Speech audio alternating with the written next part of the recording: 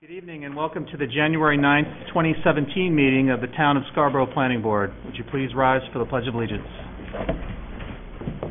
I pledge allegiance to the flag of the United States of America and to the republic for which it stands, one nation, under God, indivisible, with liberty and justice for all.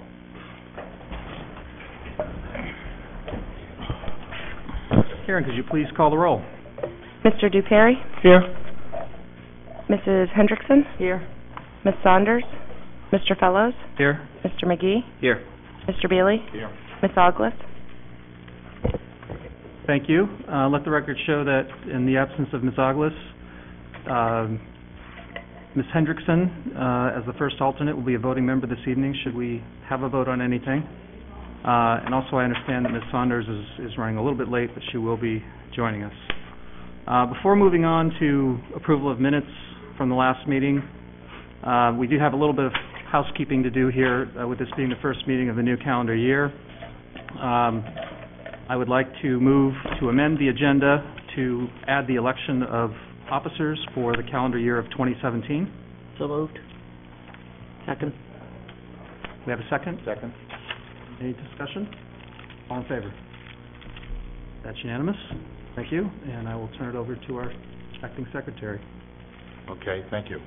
Um, I would like to uh, place and, uh, re, actually renominate, I'm going to do, do two items. Uh, First one would be to renominate Corey Fellows as the chair. Oh, I guess I can't do myself. Can- Can I? Yeah. Uh, Renominate myself as, uh, as the secretary. I'll second, I guess. Can I second both? And he, Yep. yes, I can. And I'm not, I'm a second You will be alternate. a voting I can't. member because this isn't a, Oh, this that's is a board procedural item, Okay. where we can actually vote on this, where, whereas, uh, You nominating or making a motion? You second a motion and a nomination, it just stands on its face, and we vote. I'm sorry, what's happening? Are you making a motion to elect chair? Yeah, motion. Okay. I'll, so I'll second the motion. All in favor of that motion? Okay, my second motion is to uh, nominate um, Nick McGee as the vice chair.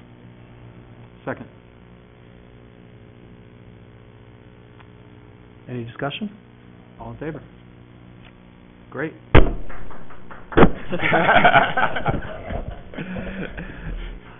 All right, back to business. Now we're going to fix the world. That's right. That was the hard part. Uh, Next item is approval of minutes from the December 12th, 2016 meeting. Um, I just need a quick clarification on all motion to approve. Um, can we just verify that Ms. Saunders was opposed and not abstaining? I ca- I thought my recollection there was an abstention, not necessarily an opposition. I clarified that with her, she was opposing it. Okay, thank you. Because I, I thought she was abstaining too, but I did ask her Okay. thank before I went downstairs, so. Then I'll motion to approve the minute. Second. Any further discussion? All in favor? That's unanimous. Thank you. Our next item, Rainin Properties LLC and Dunstan Properties LLC request the Fifth Amended Subdivision Plan Review for Dunstan Crossing subdivision. Jay? yep, thank you, Mr. Chair.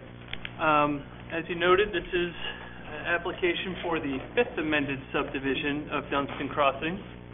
Board members will recall in one of our, uh, final meetings, I think it was in November of last year, we, um, the board approved the fourth amended subdivision, so we've been reviewing, um, pieces and parts of this project along the way. Um, so the fifth amended subdivision really has sort of three critical components. You'll, you will have received, uh, staff comments, um, as well as comments from peer reviewers, Bill Bray, looking at traffic and Warden Kern, looking at civil engineering issues. Um,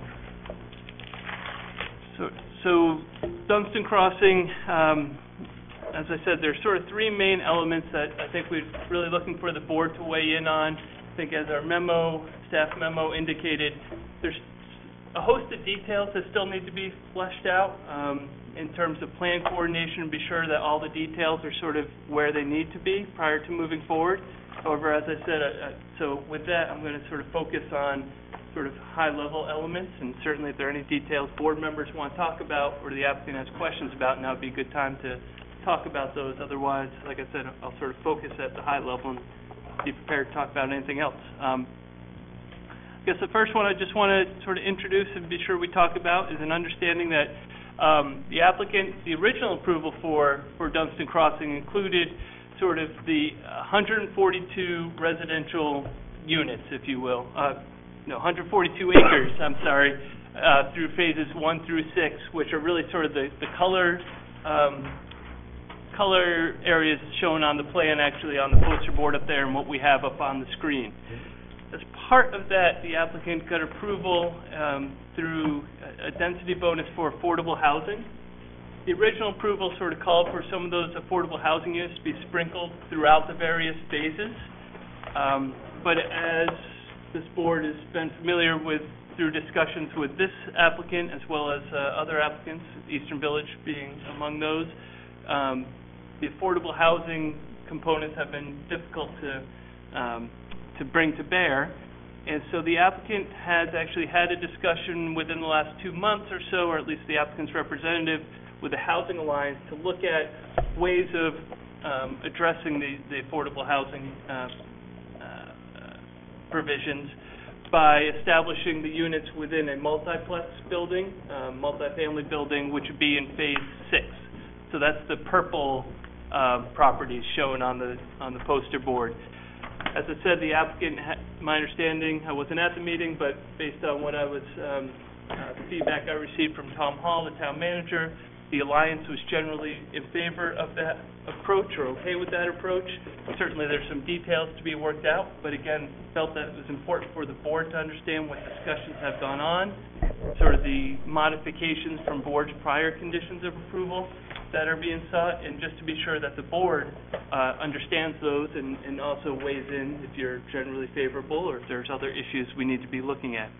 Um, The other sort of element I want to mention, a large part of why this subdivision amendment is coming before you is really focused in on sort of the two, uh, what were, what are referred to as commercial lots, or otherwise known in the application as Dunstan Village. These are the lots we've been looking at through the summer and fall, sort of as the plan development process culminating in the approved master plan, which called for certain amount of mixed uses, um, the, the recently approved restaurant, and now, uh, more specifically proposed, uh, housing units that we'll be looking at with the next application. So part of this uh, subdivision amendment brings in the net resi, the allowed, uh, density, uh, residential units into the full in, um, and also starts to trigger some amendments and, and changes to their state and federal permits in terms of DEP, DOT, uh, potentially Army Corps. So it'd be helpful, uh, again, have the applicant maybe just touch on where those stand and what, where, um, what modifications are being looked at with those. And that really brings to the third and final item that I want to make sure the board is really um, looking at, again, sort of keeping at the, at the bigger picture here, are the off-site improvements, more specifically the left-hand turn lane on Route 1, which is really being, part- which is uh, being uh, uh, required due to the additional traffic that's being proposed with the approval of the two commercial lots and, and the proposed activities. Um, I think the main element here that uh, staff wants to be sure the board and applicant sort of talk about and um, really has to do with ensuring that that left-hand turn lane, the design, functions as a, uh, a transition area. Um, This is a, uh, I'm sure board members are- are familiar, this is a, a- really a transit, um, what we'd like to see this become is a transitional zone as folks are coming out of Saco at generally traveling at highway speeds and coming into the Dunstan area of town, that folks recognize they're coming somewhere different. So what the treatment of that Route One left-hand turn, particularly sort of the pockets, and right now the applicant's proposing some striping. Uh, maybe there's something, um, some other elements that could really, uh, be utilized to, um, uh, ensure this area is identified more as a transition zone. I think some of that's spelled out Mr. Bray, Bill Bray's uh, memo, as well as staff's memo. I think that those are details that the board thinks that that's also a good idea that staff could continue to work with the applicant on um, in the coming weeks. Um, So with that, as I said, we also have a host of sort of more detailed items in our, in our comments, but for now, I think I'll sort of leave it at that. And as always, Angela's here to answer any questions we might have for her as well. So with that, I turn it back to you, Mr. Chair. Thanks, Jay, and I will hand it over to the applicant's team. Uh, Thank you, Mr. Chairman. And Members of the board, my name is Sean Frank. I'm a civil engineer with Sebago Technics. Uh, With me tonight is uh, Elliot Chamberlain, uh, the applicant, and uh, and Mark Barnes, the uh, the architect from uh, Foreside uh, Architects LLC. Uh, th- Obviously, the board's somewhat familiar with this project. We've been uh, obviously uh, here numerous times.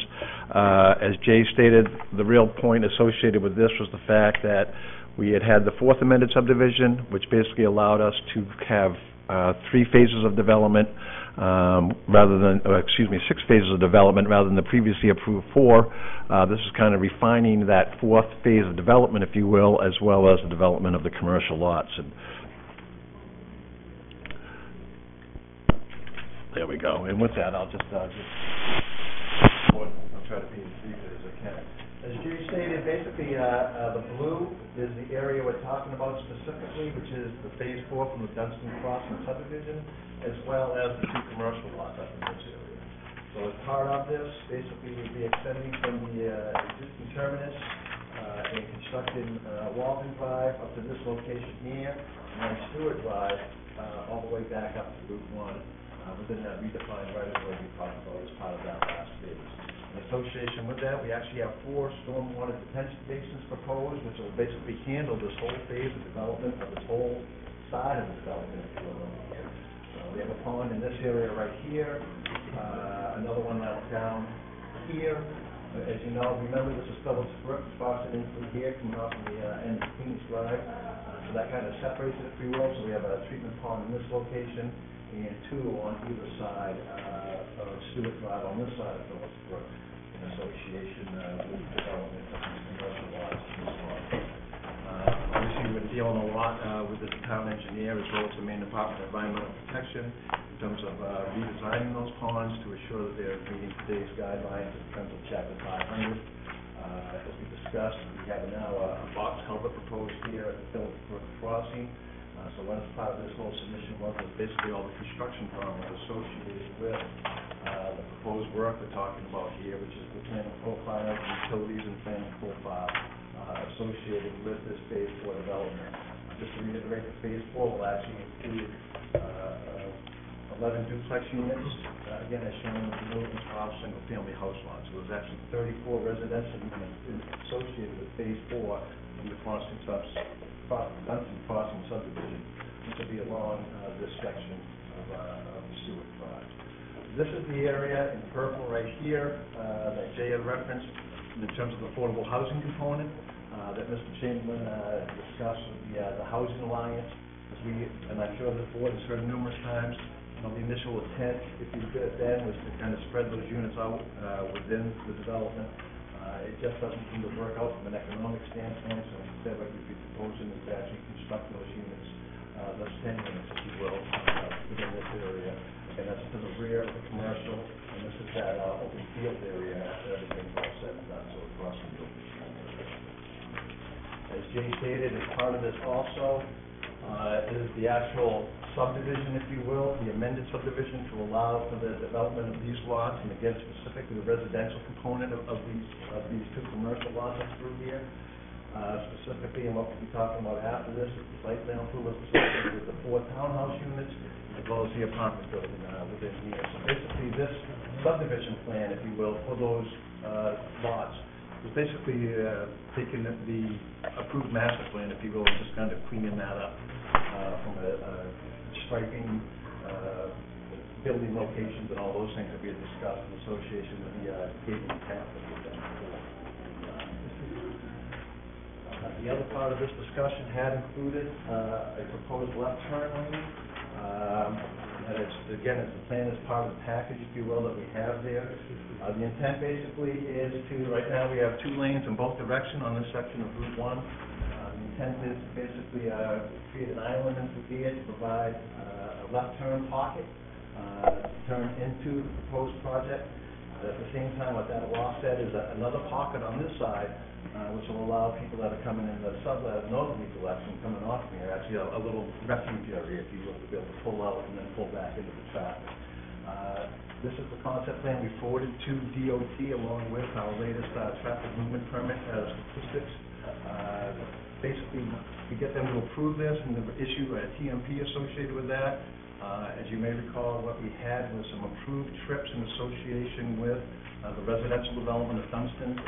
What we were asking was to utilize those trips, if you will, uh, for the proposed uh, restaurant and the residential component of uh, of Dunstan Village, uh, with the full understanding that prior to the start of Phase Five, prior to any more development within through here, that this will be fully designed and actually uh, uh, approved by the DOT, and so it will be in construction and association with any further development that's through here. Um,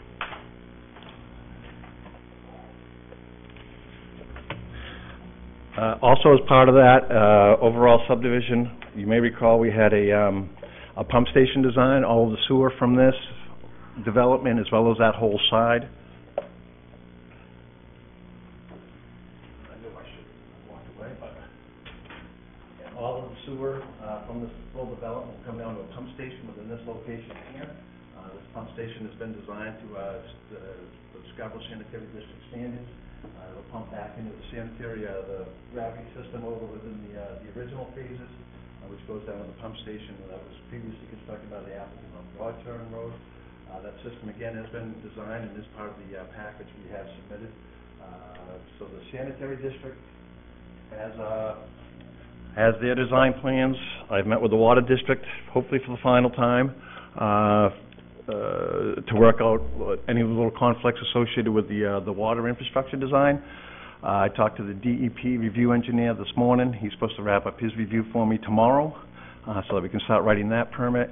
And like I said, the traffic movement permit, uh, through the Maine DOT, uh, uh, we're just waiting them to basically, uh, sign off on it and to prepare the written permit associated with that. Um, uh, We do understand, we've received the review comments, obviously, from our town staff. Uh, They've graciously agreed to meet with us again over the next couple of days, uh, so we can get together and hopefully uh, uh, clean up a lot of the details associated with this. As you can imagine, I think I have details on one set of drawings for site plans that, you know, maybe are more appropriate for a subdivision, and maybe have some information on one set of plans that should be on the other. So again, we certainly appreciate their time, and uh, our intention is to meet with them uh, uh, this week uh, to review that, and in the meantime, certainly I'll be working on that. Uh, But certainly, uh, as the uh, information that uh, uh, Mr. Chace had brought up was uh, regarding the uh, uh, the stormwater management associated with this, uh, the subdivision itself, if you will, of the uh, of the uh, the Dunstan Village, uh, the proposed left turn lane, and kind of the uh, the status of the permit. So uh, we basically wanted to introduce that to you. Obviously, when I made my initial submission December 12th, we were hoping, you know, we were a little further along. Uh, But again, I think that we can certainly pull this together relatively quickly with uh, with staff's help and assistance, and uh, our intent is to be back here in, you know, in a very short time frame to try to wrap this up. So uh, with that, Mr. Chairman, I would conclude my presentation, and certainly be happy to answer any questions the board may have regarding the subdivision. Thank you very much. Thank you. Is anyone else from your team? You want to talk about the subdivision? This isn't relative, this is just the subdivision of the site. Okay? Uh, no, actually, but So you're all there'll be more for the actual site plan Okay. process. All right, thanks. Thank you, Mr. Chairman. Uh, We do have the opportunity for public comment on this item, if anyone's interested. Seeing none, we'll turn to the board, and uh, we'll start down here with you, Roger. Sure. Thank you. Um,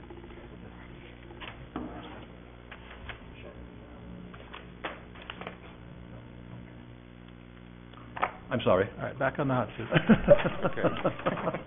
My apologies. All right, That's all right. Uh, Just for clarification, um, as I understand it, the work on Route 1, that won't have to be done until Lot 1 is developed, or does it have to be done before then?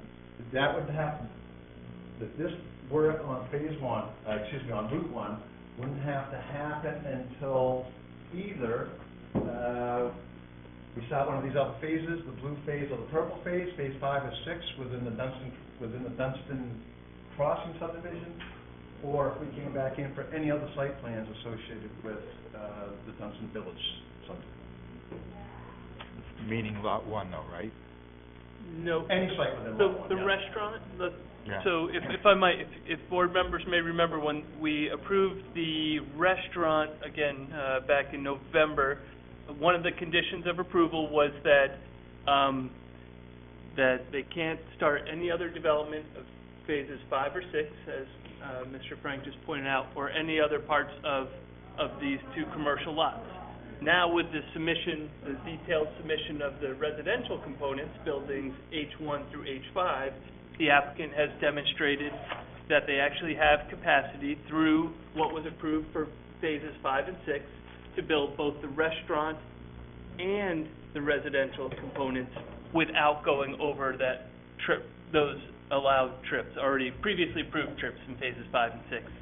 So if the board's comfortable, um, I think what, what we would likely see, um, with a future submission would be a condition that essentially echoed what was in the, the residential sub, uh, I'm sorry, the, the restaurant approval that says, um, no further development of phases five, six, or any of the other unapproved, um, buildings on these commercial lots can move forward until, um, the left-hand turn lane on Route One is approved, or there be another traffic study demonstrating they don't need it, but that seems unlikely, so. Um, so it would be, so, um, I guess the short answer is, the restaurant could get started, and these five residential buildings could get started and built and occupied without the need for the left turn lane, but any other construction would, uh, Okay, so- beyond phase four. Okay, so anything on what is now known as lot one, Mm-hmm. or the affordable housing, or that area up in the turquoise, any of that turquoise area? It would be any of the dark blue or the purple. The teal color Yeah, is phase four, yeah, so the development, development of phase four can, can occur. yeah, okay. The development, what the applicant has demonstrated is that the, it's, the development of phase four, the restaurant, and these five residential buildings that we'll be talking about next, that traffic is equal to, or actually slightly less than what was approved with just the original, what's now six phases of the subdivision. Uh, Okay. So, Okay, uh, my bottom line was, I, I just wanted to make sure that, uh, buildings H one through five can actually be constructed, if, if we approve that next, uh, next agenda item. You Think- know, without the, without the Route one work being done. Okay, good. all right, good, thank you. Um, let's see. Oh, I was kinda curious, on, on lot Y, where you're planning to put the affordable housing, what were you originally gonna put there? I think there were duplexes, I- it was multifamily in that, in that place originally, uh, within that location. I think it was more duplexes, again, I call it more placeholders, if you will, at that point in time. Uh, again, from our standpoint, the main thing had been really the two hundred and sixty-four approved units, if you will. I think as you've, eh, you know, through the history, phase one, I think, was pretty straightforward, because that was all pretty much single-family house lots. There were some undersized lots and some estate lots. Everything after that, if you will, as we've proceeded through phases two and three, uh, of the original subdivision, uh, we've been back in, and, you know, modifying and- and providing additional information, the townhouse units, uh, that are right along, uh, uh, Waldron as you enter from Broadturn, that actually required site plan approval from this board in terms of the specifics associated with the development of those townhouses. And the duplex units, as we developed those, again, we worked with town staff, if you will, in terms of the specific building sizes, because again, what we basically had in there were, were placed, so just some rectangles, if you will, saying duplexes. And I think that's pretty much what we had there at the time, but it's still pretty much the ten, the the ten units, if you will. It's just, in this case, we're talking about them being the affordable component of that. Okay. Um, I'm basically satisfied. I mean, I, I think it's a good, great project, and I've been following it for a long time, so, um, I think it's very interesting to watch how it's going along, but it can be confusing. It's, yes, yes, it certainly can be. Uh, I'm all set. Thanks. Nick? Yeah, I don't have much by way of questions on this. Um, just out of curiosity, though, did you guys ever look into like a traffic light?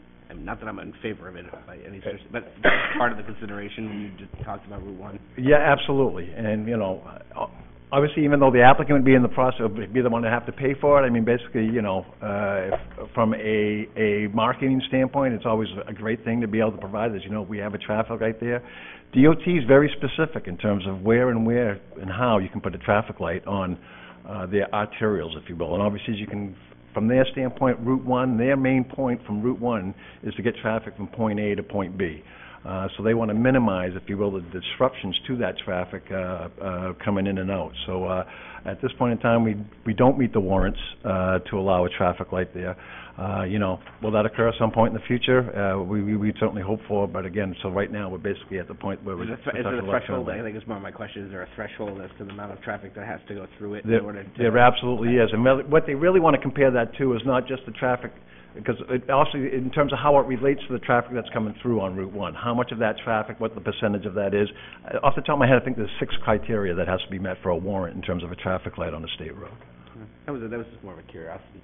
Yeah, uh, if I could just jump in on that point, um, one of the things that, uh, our traffic engineer, Bill Bray, peer reviewer, pointed out was there is the potential for future development across the street on the other side of Route One, and maybe this becomes a more robust intersection, and the triggers and requirements for a traffic light are down the road. So one of the things that we had talked about with all the construction work that is gonna be going on, obviously building Stewart Drive, would make sense to put conduit under the road at this point, where there is no road, um, so that future, should it, future light be triggered, there's sort of be less disruption and things, so, um, I just wanna sort of point that out, that is something that our peer review traffic engineer looked at, and I'm sure, uh, DOT looked at, and And under your current proposal, was there any expansion of Route One? Is there, I mean, if, if you move to that turn lane on each side, are you taking it, the, the width from the shoulders? What, how, are- It's actually coming more, if, if you're out there now, there's the esplanade, if you will, between the, the, uh, the uh, roadway and the sidewalk, especially along our frontage, if you will, the project frontage. Uh, we're utilizing the, the main, eating up a bit of that and, uh, and then just kind of right, reworking everything. But there will be more pavement on our side of the road, if you will. okay. That's it. Thanks. Exciting to think about a fourth traffic light at Dunstan. Hopefully that won't be the headline that comes Yeah. out of this. Um, Robin? Yeah, um, what is the status of the DOT permit? It's a good que, they have everything they need, we're just waiting for them to actually, uh, to write it back, to be perfectly honest with you. But again, they're comfortable from the sti- from the fact that, uh, is a little more straightforward, if you will, to them, it's all just about numbers and, and traffic that's coming out of this. So right now, from their standpoint, maybe that's why it's hard to get them Yeah. pushed. As far as they're concerned, in terms of what we're proposing right now, our initial development we're proposing right now is still under the number that we've permitted for under our TMP. So, the- you know, What's the it's, general wait time for a DOT permit, Sean? I mean, are you still within that limit, or? they, it's, uh, it's not like DOT, I mean DEP, where they actually have a legislative mandate that, you know, 180 days and they have to issue it. Um, uh, and I think, you know, just from trying to get hold of Mr. Susi at DOT, it's obvious that he's become, uh, uh, uh, quite inundated, uh, but we'll stay on him. I, again, from him, it's, it, if you see it, the actual written permits that come from DOT aren't that elaborate. They're usually three or four, and usually no more than five pages. So our hope is certainly that we'll have that within the next few weeks. Okay, and the status of, uh, Scarborough Sanitary District, have they approved the pump station design? They have it for, re- they're reviewing it as we speak. But it's not approved yet? Uh, no, and again, I would, I would anticipate that, I could see us going back and forth with them, if you will, in terms of, you know, the manufacturer, what they provide. What we typically will get from them is they'll say, that's fine to go ahead out and get the shop drawings, if you will, from the manufacturer. The shop drawings will come in, we'll send them at, again, down to, to Dave at, uh, at the uh, sanitary district for his review. Nine times out of ten, he'll still have some minor comments that we'll make with those and then finalize that. Um, our main point, obviously, is that we have sufficient design associated with what we're looking at so that we can send it to the manufacturer to get the pump station actually, the, the shop drawings actually prepared for them, and obviously that all the infrastructure within Stewart Drive is, is, is And they deal with satisfactory. whether or not the pump, the pumping station has been sized according to the, to the residential density and, Absolutely, and absolutely, Okay. the sizing of those calculations, Yep. the wet wells, the pumps, and all those things are actually part of that submission that we made to them. and then the status of the DEP permit, you said that you talked with them today, I you talked to don't Ben have- Viola yeah. today, and, uh, his Okay. thought was that he would be signing off for it tomorrow, and then it'll be a matter, obviously, of actually getting that amendment written. Okay. And so I guess my question is to staff is that, do we, don't we, does, does a, does an amendment like this need to have permits in hand before the board can approve? Um, for amendments of sort of this size, the board typically has sought that, but, you know, it's really ultimately at the board's discretion if you're, um, I, I did actually, one thing I did want to mention, if you don't mind, on sort of the DOT permitting process. I think one of the things that, that's, um, just to note, is in terms of the, um, the detailing of the plan within Route One, the left-hand turn lane, DOT, if I, I sort of understand this correctly, and so I'll, I'll look to Angela to correct me if I'm wrong, is typically as, you know, what they look for is more of a conceptual plan when they do their, when they issue their permit, Yep. and then the construction plan set can come a little bit later. So I just Right. want the board to sort of understand that, um, that, you know, I think if the DOT is comfortable with this level of detailing, Yeah. um, that they would approve their, their permit here, and then not, once the applicant goes to do their construction, they'd have to put together a full construction plan set that gets a secondary review and approval by DOT, but, um, would fall under the guise of their Okay. permit, so just, So, wouldn't you, and are you applying for an Army Corps permit too for the, for the culvert? I made a call to Rod, because obviously, you know, this had been reviewed and approved by the DEP and Army Corps back in 2006. Obviously, we're changing that culvert. I talked to Ben. Ben really didn't uh, know, but I think it did come up through a review comment from uh, Woodard and Curran. I did try to call Rod at the end of last you week, to Jay Clement? and I guess I'll give Jay a call next, because I didn't get hold of Rod, to be Yes, honest I with do you. have concern that we don't have permits in hand. Um, and another thing that I guess I'm wondering is, how many of these roads will, um, I, on, uh, sheet six, Sean, it says, under number thirteen, general note number thirteen, that basically, uh, that the roads and the in- stormwater infrastructure in the subdivision shall remain responsibility of the subdivider until the road is accepted by town council. Yes. Is, is that anticipated to happen, that, that the roads in the subdivision will become, um, public, uh, roads? All the main roads, absolutely, yes. Okay. Yes. Again, there's alleyways out there, as you may recall, and once you get off Stewart Drive within the, uh, the commercial development, that would all be private. Okay. But Stewart Drive and all the main roads, uh, the intent is that those will all be to the town of Scarborough. And they actually are designed and to be constructed to the town of Scarborough standards. And so again, to staff, I would ask, Mike Shaw has, has reviewed and provided staff comments on this. Um, we also have a draft um, memorandum of understanding, um, Okay. talking about the right-of-way itself through Stewart Drive, because there's a lot of amenities, obviously, in this right-of-way that are not typical. Yeah. Um, and so, yeah, uh, we've gone back and forth with, with, um, Elliot Chamberlain about that. Um, Mike and I have both reviewed that, and I think we're very close, and no concerns have come up through Public Works with that. And so who would maintain, I guess, the culvert that's going in? That would be in the town right-of-way. That would be in the Of town right The away. future town right-of-way, yes. The future town right away. That would be Stewart Drive. Okay, and have, have, I didn't see any culvert plans in here? I apologize for that, neither did Angela, and I've, I can't believe I didn't include those in there. I do have those all detailed out, and that will certainly be within the next. Okay, so Mike hasn't had an opportunity to review it, or? Correct, we haven't had any opportunity for Okay. the details. But I will say it's the exact same design as what we utilized at Leighton Farm, which I think everyone was very pleased with in terms of, you know, the actual design of that culvert. Uh, and again, my apologies, obviously, is that, you know, Um, what's the, what's the timeline for construction of phase four? uh, again, eh, we're actually, yeah, we're proposing, we had a pre-construction meeting. I mean, the intent is basically to get started out there ASAP in terms of phase four. At least, again, understand it's a long-term process. I mean, Yeah. there's a lot of cutting and filling that needs to go on and a lot of those types of things. So, I mean, the construction will certainly be going on for, for months. I guess I was just trying to figure out what the hurry, if there was a hurry, like I know before with getting a restaurant in and the public demand and things like that, there was a hurry. Um, but I'm also wondering then too, if, if we are in a hurry, um, I'm wondering what the timeline is, 'cause is it phase six that we're saying that the affordable housing is going, is going to be put? And that's amendable, I mean, we showed it as phase six, but I mean, I think, uh, you know, uh, Ellie, do you want to answer that at all in terms of, I showed it as phase six. To answer your first question, timing, I mean, honestly, we're probably about six months behind schedule already. Um, the restaurant was supposed to open in May, and we haven't even started digging the foundation yet, so, um, w- we're playing with the time game of, are we gonna lose him or not lose him? Um, that client, so it, timing is extremely important right now. Uh, the person that is gonna be owning the, uh, twelve townhomes, uh, is not as critical, but still timing is, is, I could just ask a clarifying question, Elliot, is anything, and maybe it's Jay too, is anything that we're approving here tonight? I mean, I, I thought that the restaurant already had the green light to go ahead. Nothing that we're doing here is gonna hold up the restaurant. Correct? Yeah, okay. well, if the fifth amended plan didn't get approved, Yep, I guess I would question whether we can continue, we're starting construction this week.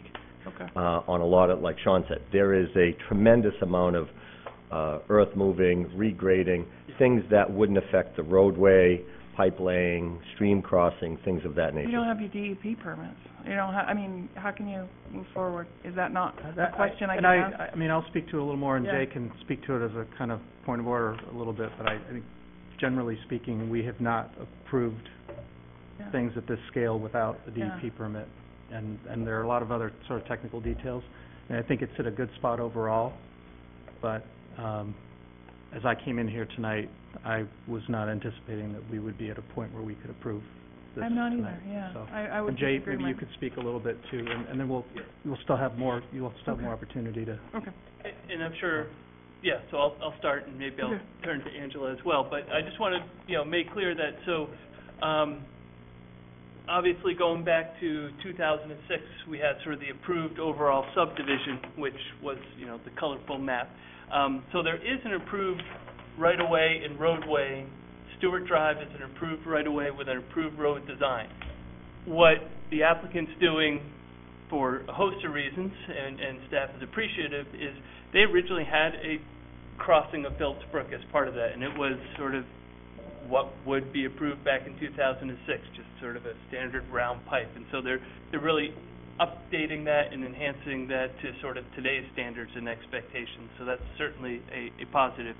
What I think Mr. Chamberlain referenced, we actually held a pre-construction meeting so they could begin Mhm. construction of the road, understanding that, as was just stated, there's a whole lot of work to do. If you remember from the site visit, uh, the site that he's looking to develop, these properties specific, um, closer to Route One are currently, uh, you know, they're an old gravel pit. So there's a lot of filling and grading work that sort of needs to be done before they even get to sort of the stream crossing area. So, um, it's sort of, it's staff's, um, uh, uh, where we're at right now is they have the ability to begin work on putting Stewart Drive through and, you know, um, it, but, and that gives us time to work on what that final crossing design looks like prior to the board doing a final sort of just amended approval, if you will. And Angela, Yeah, um, it, I guess it's a little complex. We did Mhm. move ahead with, um, like I said, the pre-construction meeting, and as Jay mentioned, it's gonna take a while. And I think, um, while there is this time ticking, this timeline that happens, um, it doesn't necessarily have to be approved tonight, but it should be approved in the next, I'm sure he's hoping next meeting, but it could go a couple of months while they kind of catch up. But they still have, like you said, an approved plan that, um, they could build today without this approval tonight. Okay. So what, obviously, he doesn't want to do that, just in the fact that you don't want to put in infrastructure and then rip it out because they have a more updated plan. So it's going to get to a point where it will be a crunch, because that window will close, and we'll say, um, without the board approval, he can't move forward because he doesn't want to put the curb there, or he doesn't want to, you know, crosswalks and sidewalks need to get installed. You know what Yeah. I'm saying? The details, getting into that kind of detail, That really um, helps. needs to be really honed in. Thank you. So, Thank you. But, but to, to, you brought up four items. The DEP permit probably is not that far away. We're probably looking at in the one to four week range. Um, the sewer district, we've been working with the sewer district for the last four or five months, going back and forth. So it's not like we just dropped a design in their lap and they're looking at it for the first time. We've been designing something that they've been asking for for quite a few months. So when we gave them a finalized plan, it's pretty much what they've been asking for. So that is, you know, they're just going through the final details with their outside consultants, but we don't see any issues there whatsoever. and they were also at the pre-construction meeting and, and conveyed that to staff, that they were comfortable where, where, where they were at. Yeah, and the DOT, obviously, because of the fact we are putting five and six on a complete hold until that left-hand turn would be in, I think everybody feels comfortable, because that could be three or four years before we start five or six. Um, we would expect that, uh, probably in the next couple of months, we would see final, you know, final answers from DOT. Okay, Um, so so- then that means three or four years then too, before the affordable housing, um, units are, are built? No, I'm not saying that at all. Um, we, I think what most likely will happen with the affordable housing is because, uh, it's right directly, uh, fronts on Stewart Drive, excuse me, there's a chance we, we don't have to go phase five, then phase six. We don't have to follow them in numerical order. Um, there's a chance I may come back and break, uh, six up into a six and a seven, and literally jump to seven, just the affordable housing, do that, and then pick away at, uh, Yeah. five and six over the years. Could- it- And I, just uh, on the affordable housing question, so again, um, this is very reminiscent of a conversation we had in December with, obviously, it's a very large project, 200, if I'm I'm trying to remember what the numbers were, and actually, I think I got them in my memo. We were originally, we were originally approved for two forty, and we had two ten percent density bonuses that we were allowed to do if we wanted to. So the, the, the base net residential density for all the colored phases, phases one through six, was two hundred and forty units. The approval allowed for an affordable housing density bonus, um, of an additional, it was twenty-four units. Of those twenty-four units, ten need to be affordable. The original approval sort of had those sprinkled, as I said at the outset, sort of in phase one, I can't remember, either two They were and three. sprinkled They- throughout, they were they were sprinkled throughout and designed to be home ownership. and, and there's been a series of amendments to that condition that this board has done, again, sort of recognizing the, the, you know, difficulties that have been with securing those. And part of what, uh, um, I think is worth, why, why we wanted the board to sort of recognize the change that's being proposed here, not dissimilar to what was being proposed at Eastern Village back in December, is those, the density bonus doesn't come into play until phase six. So they could build out two hundred and forty units without ever having to, you know, there is no requirement for affordable housing. It's a, it's a bonus. The app, the, the developer has to give some and the town gives some, so they can get the additional fourteen market rate. So I think what we'd look at is similar to what the, this board did with the condition at Eastern Village. Again, if the board's comfortable with this approach, would be to say, phase six wouldn't be able to begin until the applicant sort of has a, a, an affordable housing program, um, that's acceptable to the housing alliance in place. And so basically what it would do is say, you can build out those two hundred and forty units, you know, it- but till you get, you can't get two forty-one until you have the, and so again, um, as I mentioned, the applicant's representative met with the Alliance back in November. The Alliance seemed generally comfortable with moving in this direction. Um, but that's why, uh, I wanted to flag this as one of those sort of umbrella items to be sure Yeah. the board's comfortable with, because, Yeah. uh, as we just talked about, there's a lot of details before staff thinks this would be ready for an approval, but we want to be sure that the board's comfortable with sort of these baseline elements, um, because, you know, if the board has an issue, then we would like to know about that now. Um, so hopefully that was helpful. Thank you, very much so. I'm all set, Mr. Chair. Uh, Rachel? Um, I had a couple of questions, most, uh, coup and basically they've, they've been answered. Um, one of my concerns was coming out of Stewart Drive and turning left.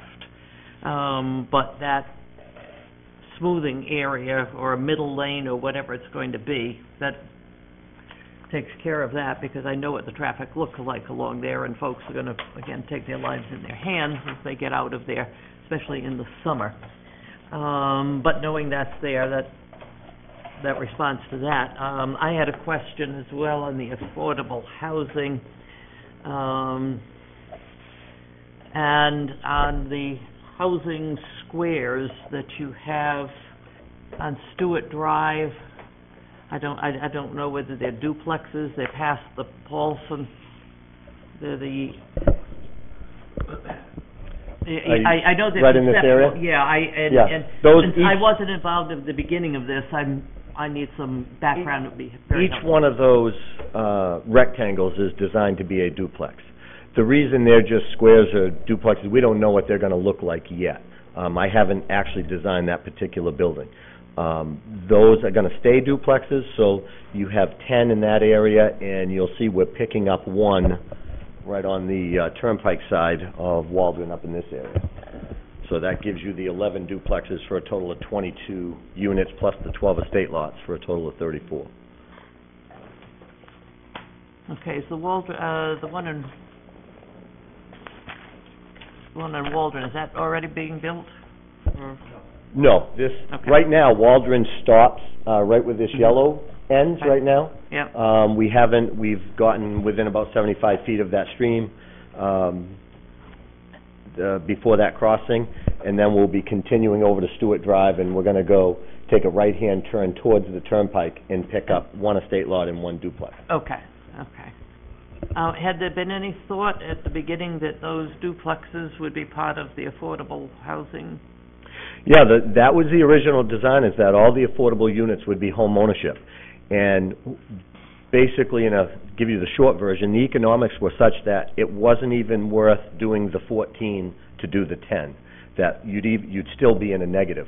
We were kind of caught between having to get the unit low enough to make it work for an affordable unit, that you, I probably would have needed thirty or forty extra units to make that, to make that number work.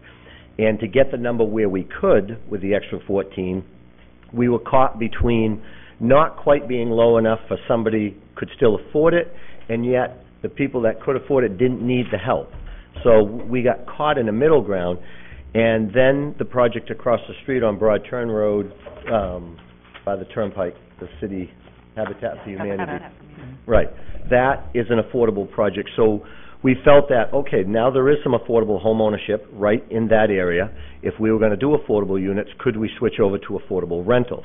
Um, and we started talking with uh, the manager and the town planner three, four years ago about this concept, and, and now we're finally uh, in the process of trying to get that approval back. That um, So the lower purple blotch there, you're looking at affordable rentals, that's, Right, we, the idea is to build, uh, ten units right here, whether it's two five-unit buildings or one ten-unit building, we're not a hundred percent sure.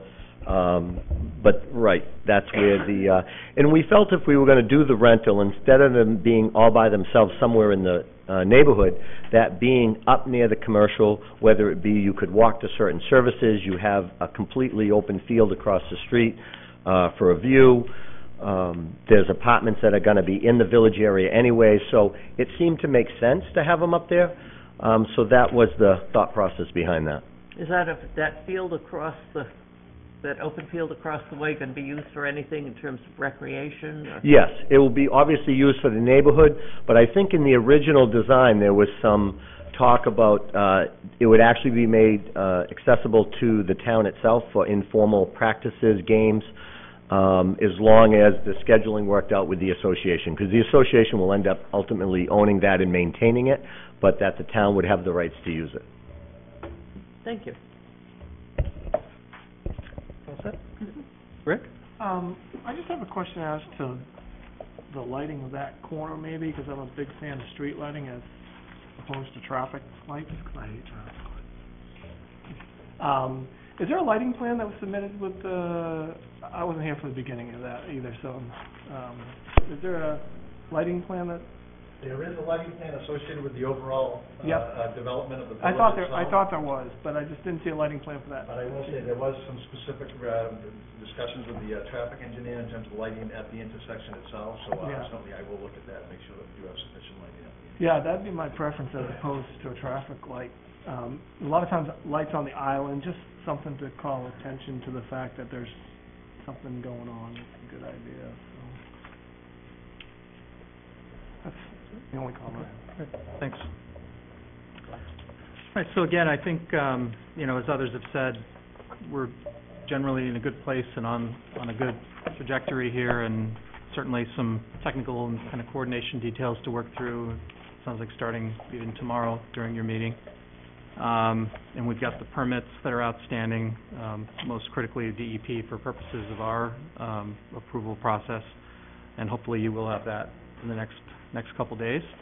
Um, appreciate the updates on affordable housing, um, and I'm, I'm fine with that, with that approach and glad that the, that the Alliance continues to play an active role in these, in these projects, as we've seen the last couple meetings with Eastern Village and now this one. Um,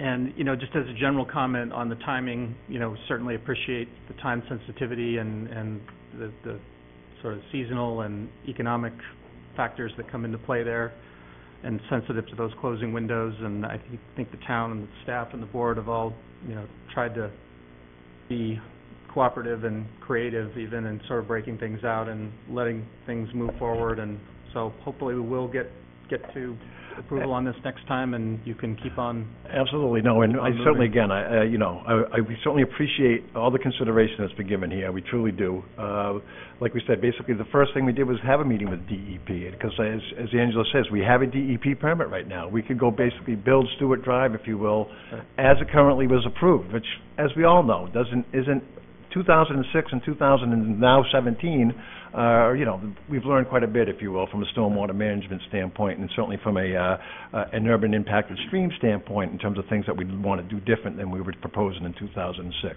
Uh, and basically, from DEP's perspective, when you do an amendment, then they have the right at that point in time to start asking you to update everything that hasn't already been constructed. Well, we didn't want to play the game, well, let us go build everything first, and then let's, you know, let's, let's negotiate about what we can and can't do. So again, we certainly appreciate, uh, the town working with us on that, because yeah, and for your part, obviously, you've- from a design standpoint, we Yeah. want to make sure that, you know, the design's going to work, so we build this thing once, and it's something that, you know, Right.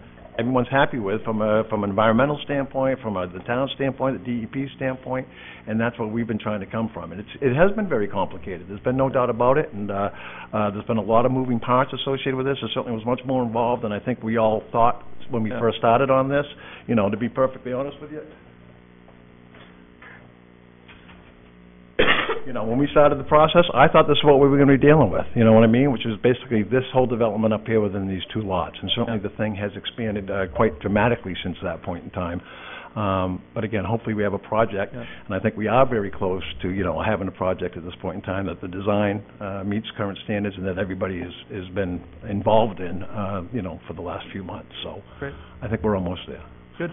And as Jay said, I think, you know, we, we appreciate the way you've approached it as well, and should be there soon, so. Um, on a related topic, we can move on to the next item. We would like to obviously im- introduce this, the, the site plan associated. Mark will make the initial presentation of that for the residential component I of will, this. uh, And we do have that set up as a separate agenda item, so I'll, I'll, uh, I'll, I'll introduce it and let, uh, Jay give a little more of an intro, and then you guys can take it away. Uh, the next item, uh, Properties LLC requests a site plan review for multifamily buildings, assessors map U thirty, lot seventeen. Jay? Sure. Um, I'll be fairly quick in my overview on this, since we've been, obviously, this is sort of part and parcel of what we were just looking at. Pardon me. Um, just sort of like to lay out sort of three main elements, again, sort of keeping it at the high level. Um, one, we just have a couple of zoning compliance questions or issues that really need to be sure they're fully flushed out. One is that the unit types that are labeled don't necessarily match what the net residential calculation calls for. It's important to recognize that a one-bedroom unit, you're trying to count a one-bedroom unit as a half a unit for net residential calculation purposes. That, that unit also needs to be less than seven hundred and fifty square feet. And on the floor plans, there's a couple one-bedrooms that are identified at eight hundred and nine feet or what have you. So they would actually exceed that threshold. So I don't think, I think they can still fit what they're looking to do under the overall thirty-five number that's allowed, but it's not the thirty that they calculated. So, um, I just want to be sure everyone's aware of that. Also want to just be sure we're clear on the building footprint. I think the building is identified at nine thousand eight hundred odd feet. The TVC limits a single building to no more than ten thousand square foot footprint, and I want to be sure that the nine thousand eight hundred odd square feet includes that breezeway and sort of garage area that's all attached, because that's all counted as contiguous footprint, so I think it's important that we're clear on those items. Then just more, more globally, sort of zooming out a bit further, in terms of site layout, um, obviously, board members remember we did a site visit here, and I think as part of that, one of, one of the issues that I thought, you know, we sort of heard voiced, um, was about the proximity of building H five to the property boundary, and so, um, just wanted to be sure the board was really looking at and thinking about, um, the buffering that, that might, might be or might not be, um, uh, in place, given some of the grading that's done, there's a sort of swale back there, sort of how everything fits in that area. Um, and then the final item, and we talked about this at sketch plan, buildings H one through H four, the sort of ends of those buildings, um, are sort of blank facades. Our design standards talk about, um, not having blank facades when you're facing sort of a park ar- park area or more of a public space.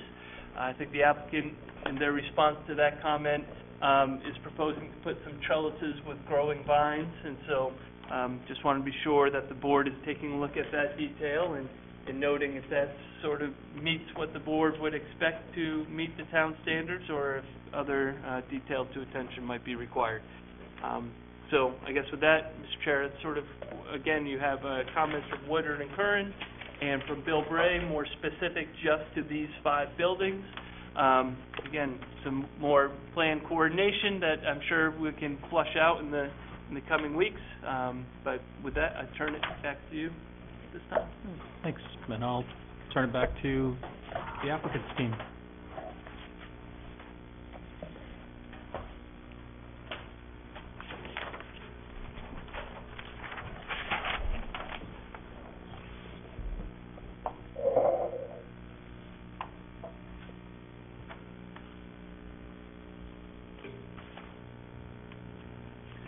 Good evening. My name is Mark Burns with Foresight Architects, representing Elliott Chamberlain.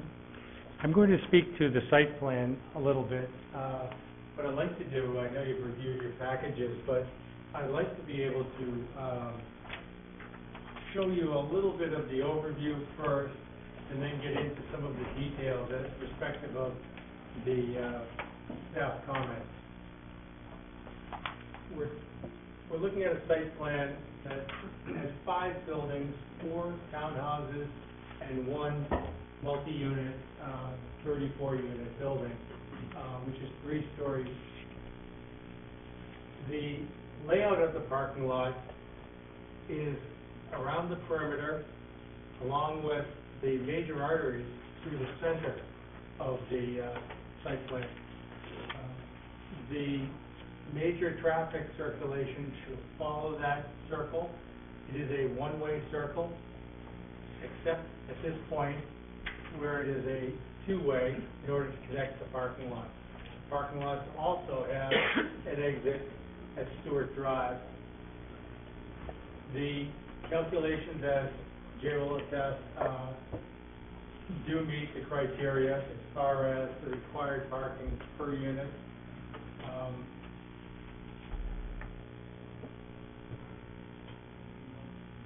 I'd also like to address the landscaping. Uh, the landscaping has been, has evolved from the master plan through this site plan review. And so it it has had a lot of, uh, review, has had a lot of, uh, adjustment. And, uh, we think it's a very elaborate and sensitive, uh, landscape plan.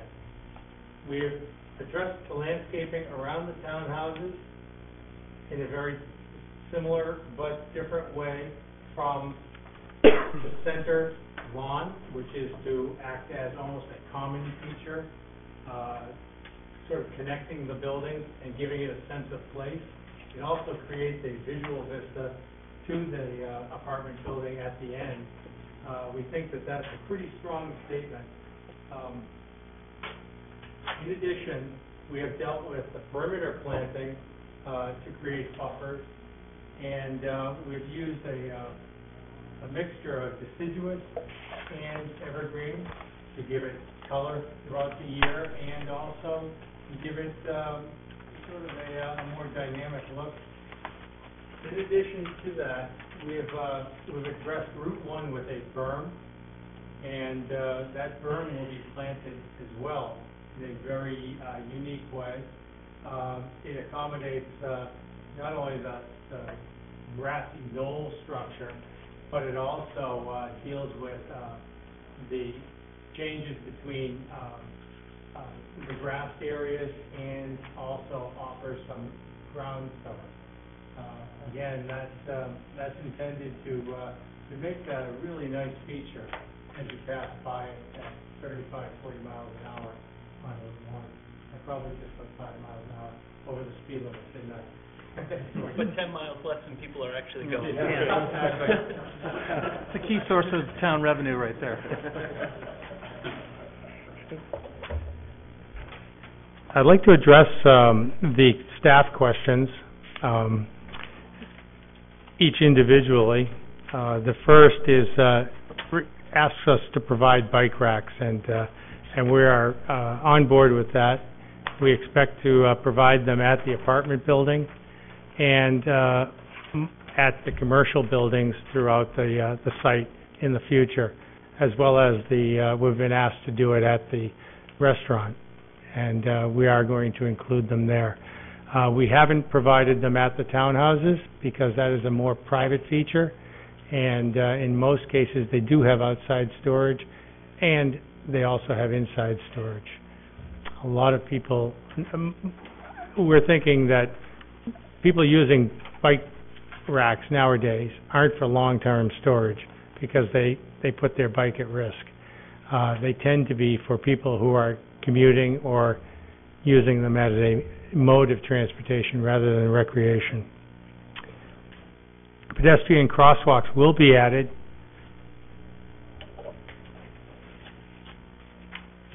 And those pedestrian crosswalks will be added at several locations. Uh, we're looking at crosswalks from the apartment building to sidewalks, sidewalks to the center, uh, common, and connecting the commercial areas. However, we're, uh, we're not proposing, uh, crosswalks at areas that are merely at, at a, uh, at a parking lot. You know, we'll, we'll do it at the major vehicular locations.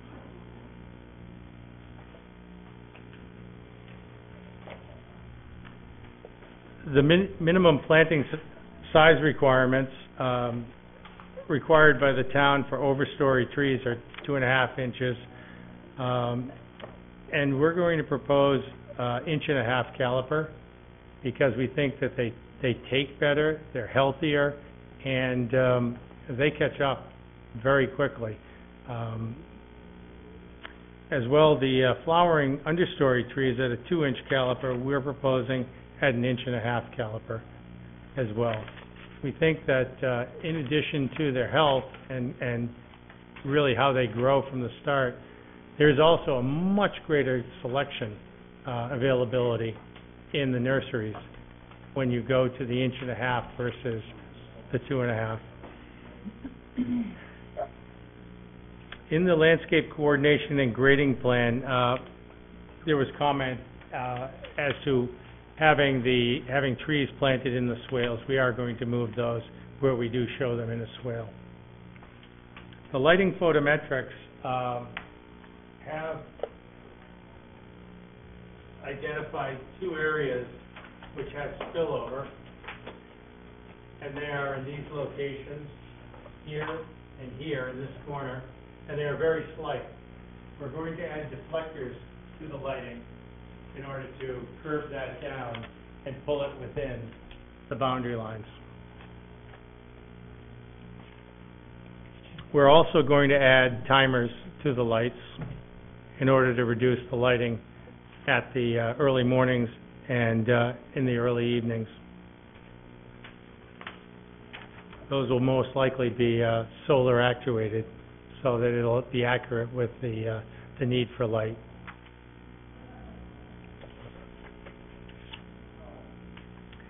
There was a question about uh, whether or not the, uh, the building was a two-story or a three-story. In fact, it is a three-story and will be shown as that. Um, In addition, on the townhouse units, there was question at the at the master planning meeting and also in these comments as to how we'll deal with the size of these townhouses. And, uh, they don't have windows, and that was, seemed to be the element that, uh, uh, planning board members had, uh, had issue with. Uh, we are going to plan on planting, uh, ivy and having also a uh, trellis element.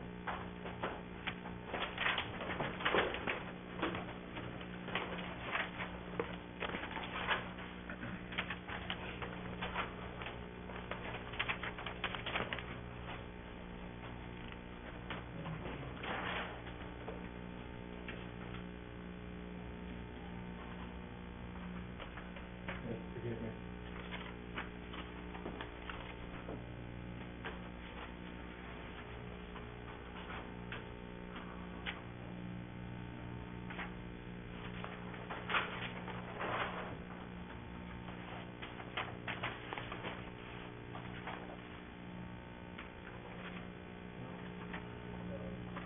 It's on the large plan. It's on the large plan.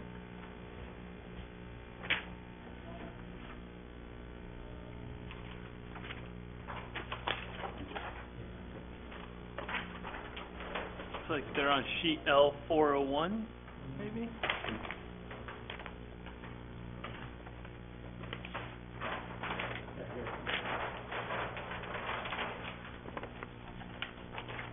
We'll be looking at a series of posts spaced uh, uniformly. And uh, within those posts, there'll be some horizontal connectors. Those posts and the horizontal connectors will be behind a screen. Uh, They'll, the posts and connectors will be, horizontal connectors, will be cedar and will gray out, and look nice with a patina. The screens themselves will be a, um, a galvanized, uh, lattice. And that galvanized lattice, uh, will, will be a metal lattice, but it'll hold up over the years. It'll also have a patina to it. But we're going to grow, uh, English ivy under it. And, uh, we think that that's extremely hardy. It's going to be green year-round. And, uh, we think that it'll, it'll grow relatively quickly. Um, and we think that's a much better option than a stockade fence or, uh, a solid fence, because it has a nice, soft, living, uh, feature to it. The last question was the fact that uh, the three-story building elevations don't show any roof vents, so that you're not able to see whether or not there are uh, any large venting structures on the building. In fact, the building has a flat roof. It, it shows a roof in the, in the front and around the perimeter as a, it's a mansard roof made to give the illusion of, of uh, a sloped roof. But with a building of this size, uh, a slow, appropriate slope would bring it way over the, uh, the um, height limits. And so uh, it's a fairly typical ploy that, uh, that architects use nowadays with, with buildings, and um, I think it works out pretty well. It, it's enough to give the building, uh, some character, uh, as you can see. It, it really does fit with that building. Uh, the actual roof is down below, at this point, the flat roof. And, um, and the flat roof is hiding all of the vents, the uh, rooftop units. Uh, it's actually an EPDM or membrane roof. If this roof were, were to be, uh, full slope, it would probably be up here. Because the building is up to sixty feet wide. And, you know, the appropriate pitches are, uh, you know, eight twelve, uh, you do want to be looking at a, at a four twelve. I know that many times you look at a pitch as being appropriate to, uh, to New England, and therefore and that would be the, the, uh, the questions. So I'd open that up to, uh, to questions from you if, uh, if you'd like. Okay. So with that, there, okay. Um, I don't think we have anyone out there for public comment, but I'll throw it out there. No? Okay. Let's start down here this time. Britt? I actually don't have any questions. No? Sorry. Okay, I thought it looked good. good. Excellent. Thank you. Rachel? Yeah, I'm, I'm looking at the plans and it's still showing twenty feet.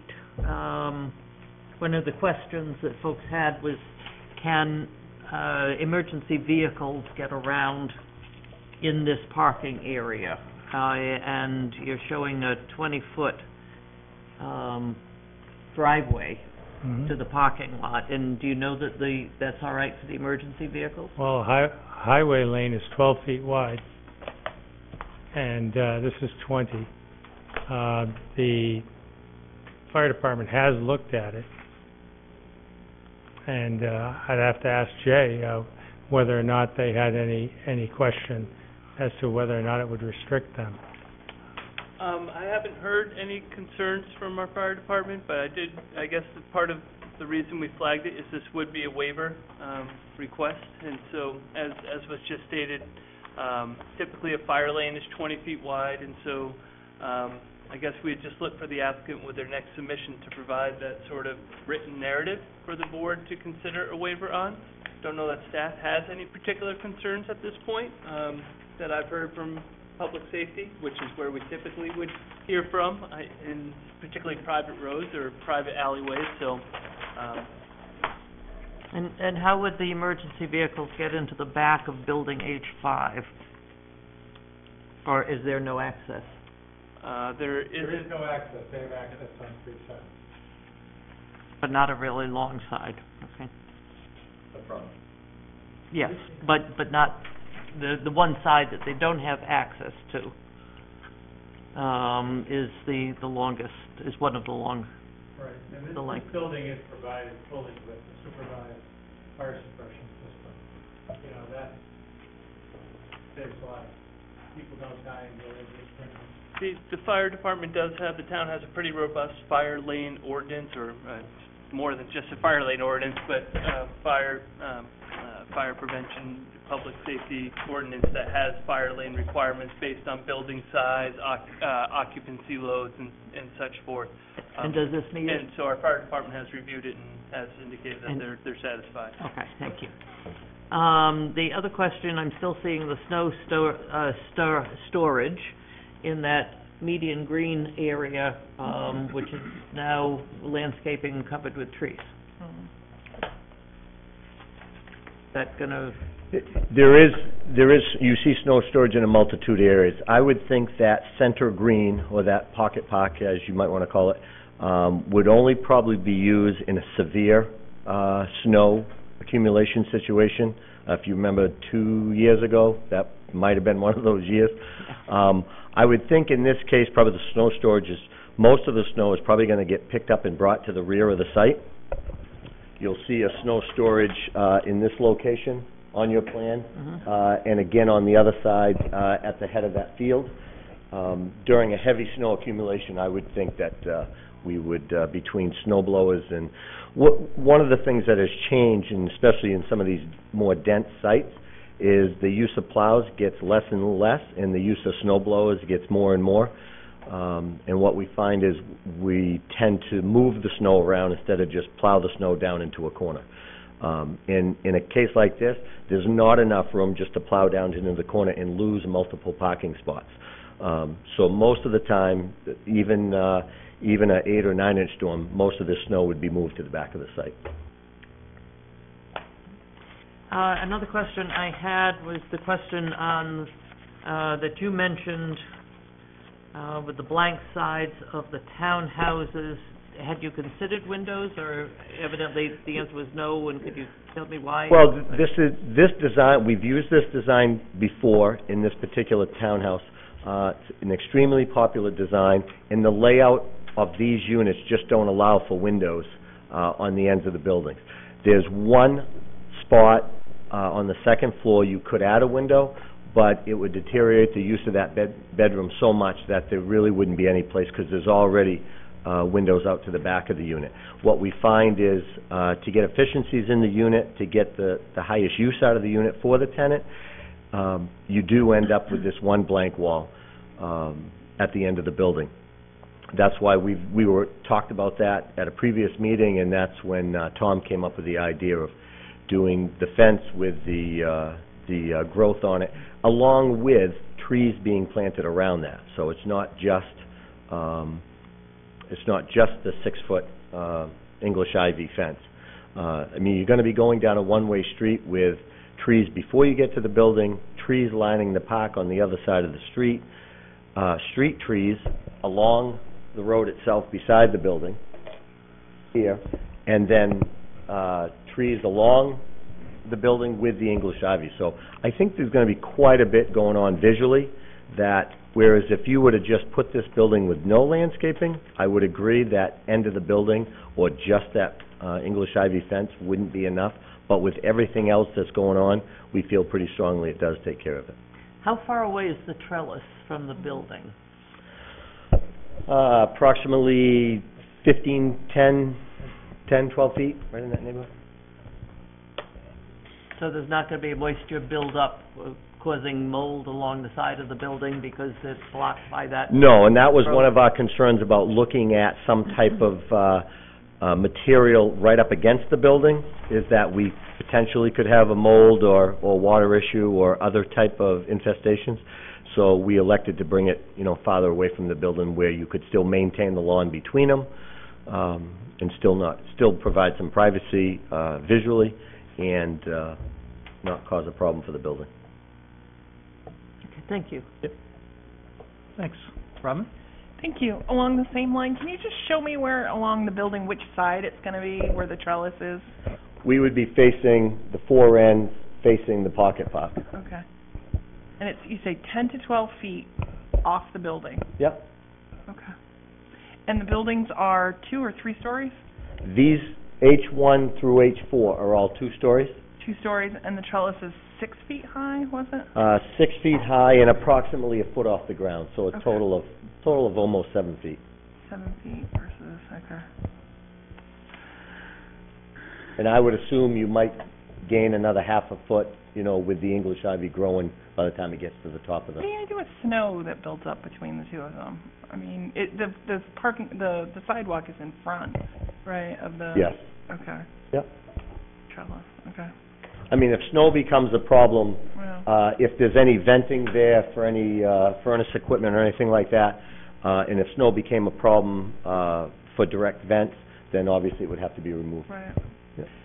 Um, could we talk about the parking lot right near there too, where you have the one-to-one slope, um, uh, nope, to the right there? riprap. Yeah, with riprap and, um, I guess I'm wondering why you didn't use a retaining wall.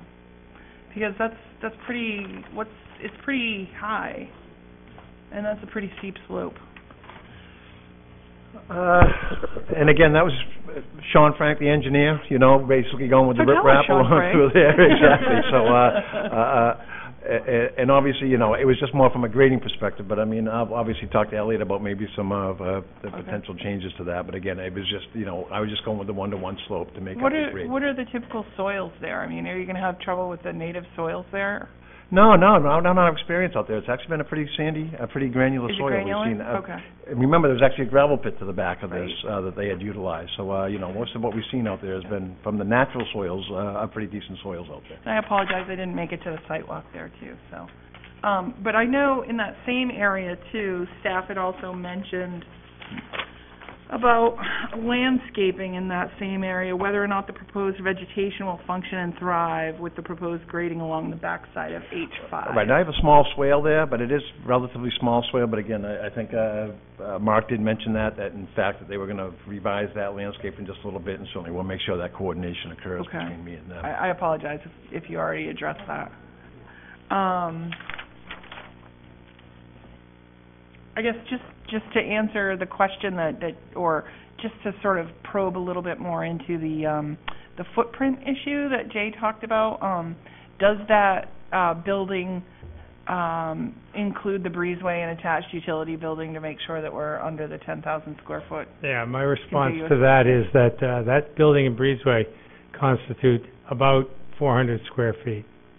And in order to accommodate that, we would be pulling the front and the back of the building in Okay, about a foot and a half to stay under the ten thousand. to stay under the ten thousand, and I think would be about twenty-five square feet under the, Okay, I guess o- one thing I'd want to clarify is, Yeah. do we have to count the trash, uh, garage in If, that ten thousand? if it's attached by the breezeway, yes. Okay. If that breezeway wasn't there, then it would be two separate buildings. But when they're attached, they, Right, which doesn't make sense for a tenant to have to go outdoors to go back indoors. But, still on me, okay. Um, just real quick question about the lighting. Um, given the residential napo- nature of the internal buildings, you did talk about putting timers or some type of like motion sensor type thing out there. Um, um, that's all I have for questions, Mr. Chair. thank you. Yeah, I, f- I forgot something. Um, a- and that is, uh, something that Bill Bray mentioned, which is the, the traffic signs within the, uh, uh, or some sort of traffic control within the, the development there, because I, I can see especially, um, visitors who might not be familiar with, um, the layout, heading, heading one way, on a one-way street past, uh, put my glasses on here, building H one and two, and then getting towards building H five in a two-way street, but not recognizing that and just kind of, And, and Looking certainly we for the crowd. appreciate it as well. Uh, actually, the, the applicant's been working with, uh, Public Services in terms of, so we'll actually have a name associated with that, if you will, so that'll kind of give us a street sign, so then we can kind of add a sign to that, but I will certainly, uh, would, would there be, um, do- stop signs? Absolutely. Stop, there is stop signs on the side, uh, and again, what we'll certainly have is, you know, uh, the one-way do not enter on the other side of that. So, uh, I'll certainly, uh, I did see, uh, Mr. Bray's comments as well, and certainly we'll make sure we address those. Okay, thank you. Thanks. Uh, Nick? Thank you. Uh, good job to my fellow board members. Didn't leave much, uh, meat on the bone for me. Um, but I will clarify a couple things. Uh, snow storage was mentioned, and this is so minor, and, and I'm not sure, I didn't catch all of it, but it, I don't know if this is what was asked, was in the village green, you have a big, big area for, was that the question? Okay, thanks. I, I did hear the answer, I didn't hear the question fully, so, all right, thank you. Um, and then, crosswalks, I think I've got, the crosswalks look good on sheet two of five, and then I noticed that they kind of disappeared, and it could be buried under other lines that are there, but I just wanted to make sure we were consistent as to the crosswalks are going to be on Stewart Drive on both sides of the entrance into, around the Village Green, correct? That's correct. Okay, all right. And then trellis, let's talk trellis. I'm not crazy about trellis. Um, what other options were there? What was under consideration? I mean, uh, you didn't want to do windows, okay, I get it. Um, but what were some of the other alternatives you, you looked at before landing on trellis? I mean, really, after that, it's, uh, you do a heavier sense of landscaping or larger trees, or if you're looking at the physical building, you're looking at false or fake applications to the, to the side of the building. Um, I know I was uh, hammered pretty hard last time about fake windows, so I didn't want to go down that road. Um, and I don't, you know, when you start adding those false applications to the side of a building, they, I don't care how good of a job you do, that's just what they look like. They look fake, they look false. Um, so we really didn't want to try to do that. So the next way was, we didn't think at the time, uh, making the landscaping so dense that it, it looked overdone, uh, or became an issue, uh, health-wise for the trees, and the trellis was the next issue. Um, there wasn't enough room to really do a large berm, um, so every time we looked at it, we kept coming back to some type of screening, and the, Yeah, it seems like you land on screening rather than structural or architectural styling, Yes. Which is what I think, as far as we look at the ordinances and that we, we have to reference during this, we're dealing with more of an architectural styling, right? Not necessarily a shading or a, a hiding of what's there. That's why I was asking what, what other options you had been considering uh, when doing this. And, you know, for my money, I'd rather see a large shade tree there than a trellis, you, you know, that eats up some of the view of that house, but that's a personal view.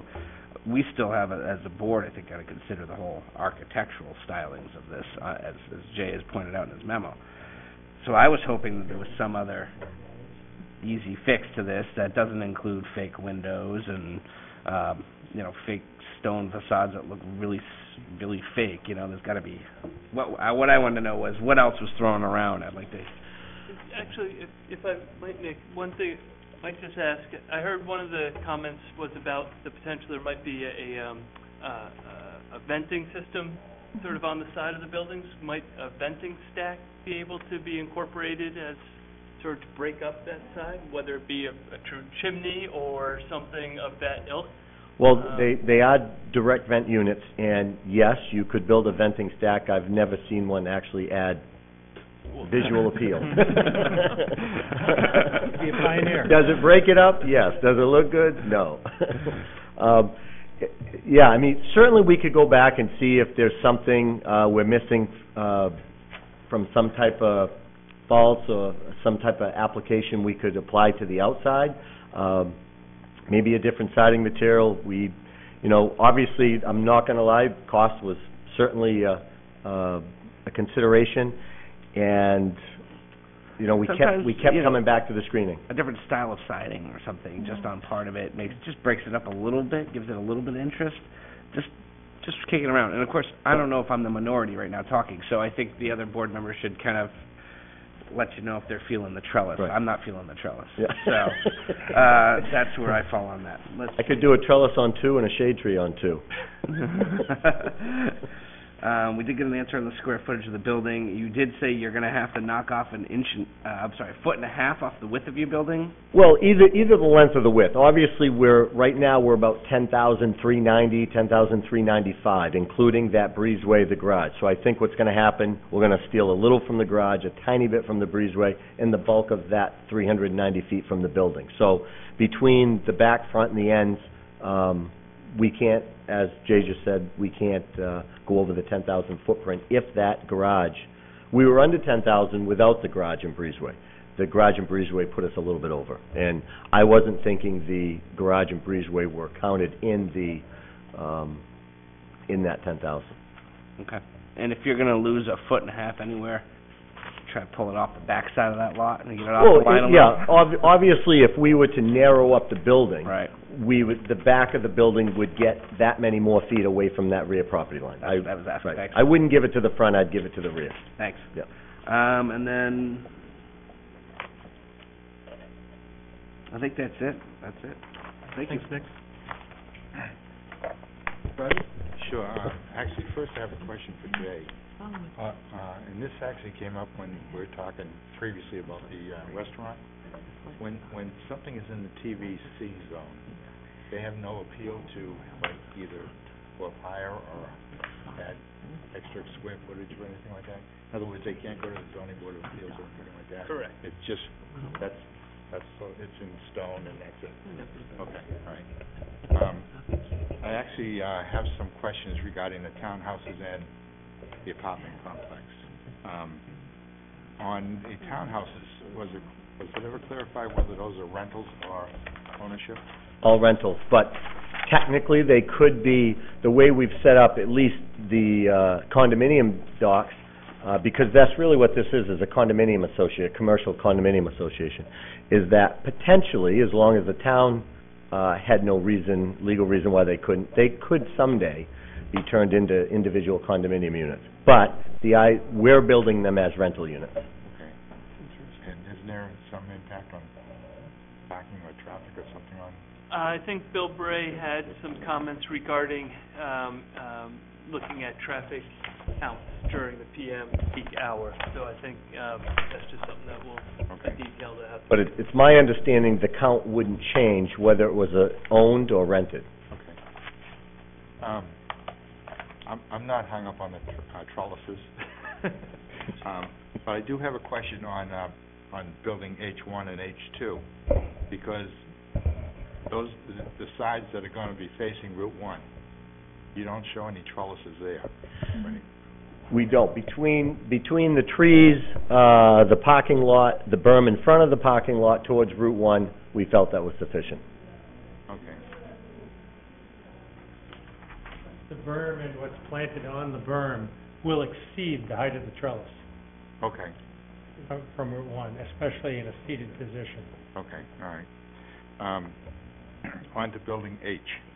Um, I was on the site walk and, um, I thought that was a, that was a lot of mass right there. H five you're talking about. H, You said building H. Large. Just- H You're five. talking H five, just for, so everyone knows. okay, okay. Um, there was a lot of, that's a lot of mass very close to that abutter right Yep. there. And, um, and I, I was wondering, um, the, uh, it was mentioned in the, um, in the comments about maybe eliminating the on-street parking right in front of the building and moving the building further, I guess, south a little bit. Is that the direction towards the parking lot? That was the suggestion, Yeah. and I'm zero percent in favor. Oh. And what you've got is, we are, our traffic, our parking count, not traffic counts, our parking counts are adequate, but we don't have a tremendous amount of extra parking spots. When the planning board asked us to delete eight on the other side, what we did was, we really cut the site in half right down the center of Stewart Drive and said, okay, most people, especially if you're living here at the apartments, are probably not gonna park on the other side. So we treated them, for parking reasons, as if it was, excuse me, two separate, uh, projects. So we took this half by itself, looked at the commercial, the residential, looked at visitor parking, um, did all our counts, and we're adequate, but we don't, we don't have extra. Um, one of our concerns is that that building is designed for an older tenant. Our thought process is if that older tenant has guests, there's a good chance it's gonna be another older tenant. I don't want people parking where they've gotta walk a long distance, and I really want those four spaces, no matter who they're for, dedicated to that building, uh, during the day. So we really strongly feel we do not wanna lose those four parking spots in front of that building. And in our mind, when you look at, we're fine with compromising if what you're gaining is equal to or greater than what you're losing. And in this case, I feel what we're losing is much, much greater than what we're gaining. Whether that building is sixteen feet off that property line, only in one corner, we're about twenty-five feet off on the corner closest to Route One. If we were to pull that building nine feet further away, is that really gonna gain anything? I- We are on the back side of, uh, you gotta remember, this, and I'm not trying to minimize, uh, the neighbor's concern, but their living structure is very close to Route One, so we are about two hundred and fifty feet, uh, from the, from that back corner where it's close. Um, this is a zone where this is allowed, we are within the allowed setback. Um, we've gone, we've now been in this process, Jay, what, eighteen months now? That we've had that building in that spot, so I feel like we've come a long, long way. Um, and I will say, I made a lot, a lot of attempts to talk with the neighbor. Um, and I was, it was a little tough to reach that person, and I was not called back until the, the day after all the trees disappeared, and finally got a phone call. Um, ac- actually, during the site walk, I thought the neighbor was pretty, um, he was pretty much in favor of everything. He, absolutely, he has made it clear to me that he is much in favor of the project. He is not thrilled about that size building being right there. Um,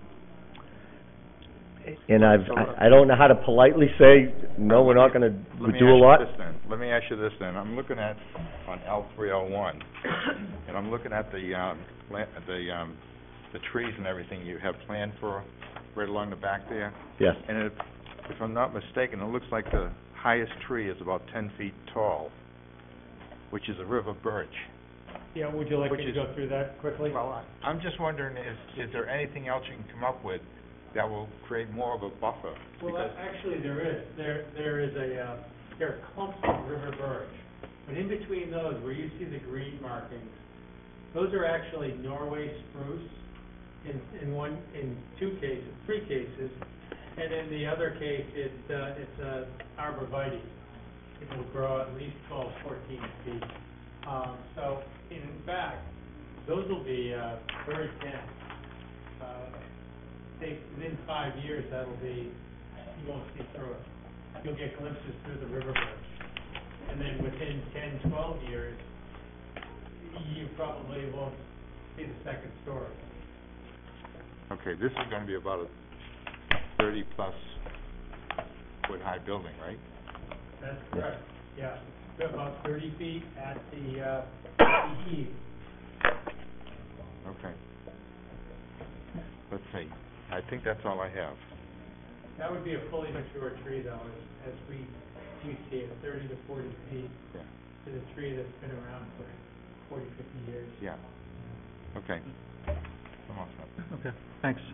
Uh, Did you have something else, Rachel? Yeah, um, as I was looking at the plans, um, with the townhouses, I've got one option on the side that doesn't include a trellis that, um, you might want to explore, and I don't know if it would meet the needs of, of the folks here on the planning board, but it might be possible to break up that side with a piece of, I'm assuming it's vinyl siding? Yes, Okay, with a piece of trim across, um, to the roof, the roof line of the porch, matching the roof line of the porch Yep. as you look at it. A lighter siding on the top, a slightly darker siding on the bottom, and that breaks up that whole wall. And then you can, on the front of the building, carry that through by putting a lighter siding just above the porch, and the darker siding, slightly darker siding on the rest. I don't, I don't know if that would be adequate to break up with that sort of an architectural detail, but it would change the color, and it would add that little bit of extra architectural detail with that trim line. Yeah, we can look at that. And you have to cite it anyway, so. Yeah, this is true. Thanks, Rachel. And I'll actually pick up on that, and that, that was along the lines of something I was going to throw out there, that, you know, it- it- in some of our commercial zones where we have, where the ordinance calls, the design standards call for sort of breaking up long horizontal planes, that's often been accomplished through fairly subtle changes in material and banding, and obviously you don't want to get into anything that's too kind of gimmicky or costly, and we're sensitive to that, but I would think there might be, you know, without trying to, you know, do a design charrette right now, I mean, I, I, I would think there might be some different approaches you could take that wouldn't necessarily add significant costs, that would add a little bit of interest. And in addition to the concerns that Mr. McGee raised, um, it it occurs to me that, you know, this is ultimately going to be the responsibility of an association to maintain everything, and while that ivy will, I'm sure, will, it'll grow like gangbusters, and the cedar will age, and that'll be great up to an extent, and eventually somebody's gonna have to maintain it and, and, and trim it. Um, and obviously with any project, we kind of take a little bit of a leap of faith. Any of these residential projects where there are associations, we're taking a little bit of a leap of faith that there will be an association that will maintain those sorts of things, but if there's a way to accomplish, to sort of address this issue without creating another kind of common area amenity, so to speak, that has to be maintained over the long term, that might be something that's beneficial, and Okay. maybe, and so just, you know, something to consider. Um, otherwise, I'm, I'm generally, generally happy with things, you know, I, the, my fellow board members have pretty much raised most of the questions I'd had and have made some other good comments. Um, just looking back over the notes here to make sure I'm not missing anything, we've talked about the zoning, zoning compliance items that the staff mentioned. Um, you know, again, as Mr. McGee said, uh, to the extent that you've got to take a couple feet off of something, you know, maybe take it off that back edge of the, the large apartment building. On that topic, um, you know, I hear exactly what you're saying about, you know, you're, you're within the, you're within the setback requirements. Um, I was out there on the site walk as well. I found it, you know, it was, it was very impactful walking around and sort of seeing that and, and empathizing to an extent with the neighbor, but at the same time, you are within that setback, and it's encouraging to hear that there's going to be some pretty ambitious landscaping there that'll, that'll grow up and will provide some screening year-round.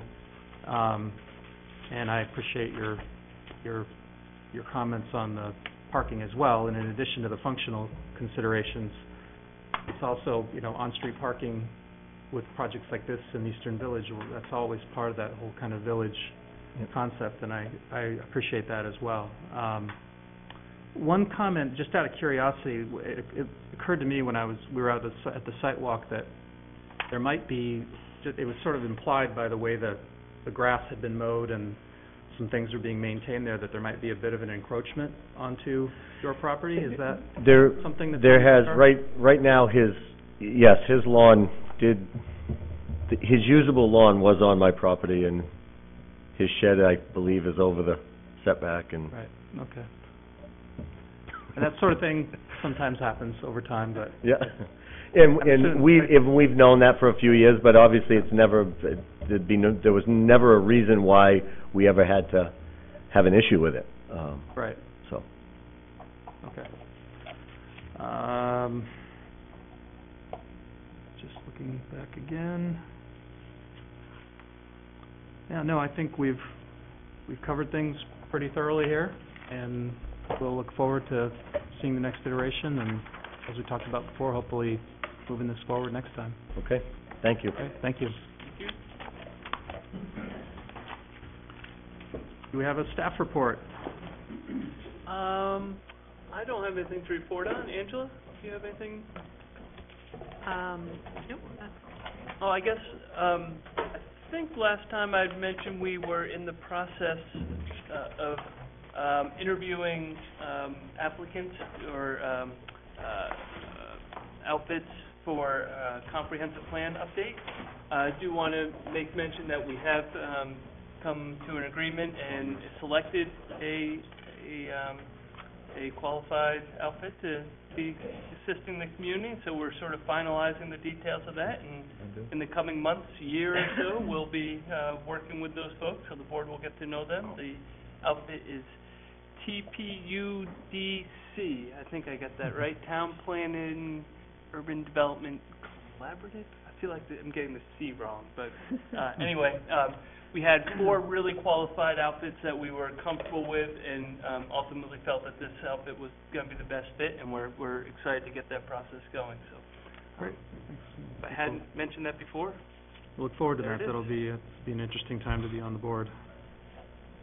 Um, any correspondence to report? Oh, sorry. Do we have an administrative amendment report? I don't believe we have anything to report this go round. I think there was something that went back and forth, but it, sort of over the holidays, so I don't know whether that If actually there went was, I will forward. be sure I will Okay, do more due diligence on that and report out next time. all right, I apologize for that. all right. Uh, any correspondence? No? Any planning board comments? Congratulations to the chair and the vice chair.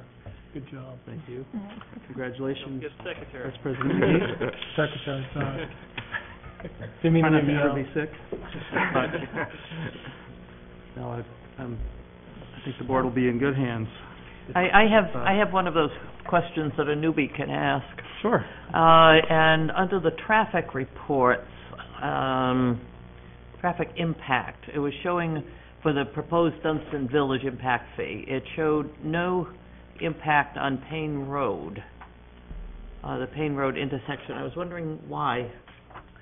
So, yeah, so when the traffic engineers do their, their magic, they essentially, the way we assign, I'll start with, the way we assign traffic impact fees is the amount of trips generated out of a project during the PM peak hour. So it's not all their trips at all times, Mhm. it's during that critical PM peak hour when those intersections are failing. So it's the Payne Road area, Oak Hill, Haigis, and Dunstan. Um, we've done some repair, anyway, I'll, that's, I don't need to get into all the history. So, um, so what they do is they take the, let's call it twenty trips that will be coming out of, uh, Dunstan Village at the PM peak hour, and they assign those. How they do that exactly, they have a model that says twelve people are gonna take a left turn, eight people are gonna take a right turn. Then they send them to the next intersection, Old Blue Point Road. Oh, two people veer off at Old Blue Point Road, that leaves us with ten that get to Dunstan, okay? So on those ten trips, well, one person takes a right at Pine Point, one person goes up Broadturn, you send them down, and so that's, so yes, there's, obviously, there's no model that can account for what human behavior is gonna do, but I believe what they're really looking at is, what's traffic doing in general? You know, if eighty percent of the trips are taken, are heading south at that time, well, then likely eighty percent of the people coming out are gonna wanna head south. So, I mean, there is some science behind it, but there is also some art, so. Mhm. There's a, there's a little black box inside which some Mhm. determinations are made. That is how it is Right. done, and we, yes. I have a question also, somewhat of a newbie question. So, I would very much like to see the lighting plan for that intersection on the last project, not, I'm not talking specific to that project, so I know we're not supposed to talk about it after they leave, but how do you ask, you know, do you formally ask for something like that, or do, Yep. I mentioned it, and I'm hoping that, you know, in good faith, they'll bring it back next time, but if they don't, is there a formal process to? No, I would say if there's something specific a board member wants, explicitly ask for it.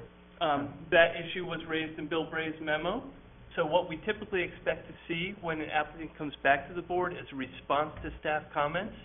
So what you should see in the next time is, when, when they're doing a really bang-up job, they, they, uh, put the staff comment and then their answer underneath it. Staff comment, answer underneath it. Sometimes we'll just get the answers and you have to pull out the old report. But, but hopefully, where that's in, uh, Bill Bray's memo as our peer reviewer saying, hey, as part of this detailing, you need to show us the lighting, that we'll see it. So, Okay, um, it's my expectation we'd see that as well. all right, I just didn't know if there, Yeah, I I would understand say, that. I would say moving forward, future, future deliberations, you want, there's something that's sort of vaguely in staff comments, feel free to just say, Mr. Developer, I wanna see this, or Okay. Mrs. Developer, or Okay. whatever the case may be.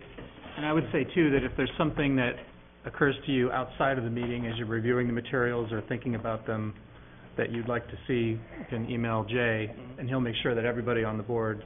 Oh, that- okay. That he'll, he makes the, re- he'll make the request to the applicant and then make sure everyone gets it. Okay. And if I send you something stupid, Jay, you'll send me back an email saying, Rick, that's really stupid. We'll just- We'll just keep that between us. Yeah, we'll keep that between us. Okay. All right. Any other board comments? All right, I will move to adjourn. Second. All in favor? Aye. All right. Thank you. Who's playing football tonight? Anyone know?